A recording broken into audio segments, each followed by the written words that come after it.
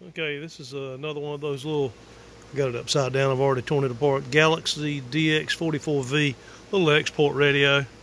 It's a low power rig, it's an early version. Uh, so multi-band thing comes on 10 meters when you get it.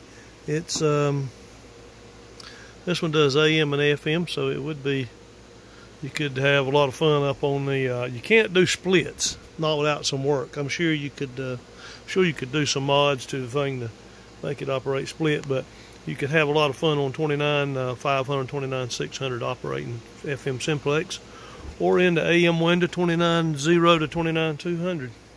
Anyway, this one had no power output. I jumped ahead on this video a little bit. I took the uh, RF probe there. It's old Boonton. That thing came over on the Mayflower, but it is wonderful. I keep uh, got the little 50 ohm interface and all that. But anyway, um, poked around in the uh, the section driver was working, PA was not. I went ahead and popped both loose to test to see if the driver was leaky or anything. Driver was fine. Used a 2SC 1969, which is almost unobtainium.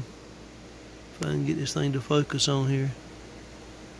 There you go, 1969. So anyway, uh, quick ohm meter test actually showed that it failed. It had a base to, base to emitter open, but it also had uh, collector to uh, emitter leakage, a tremendous amount. So anyway, there you have it. Just a quick down and dirty test on that.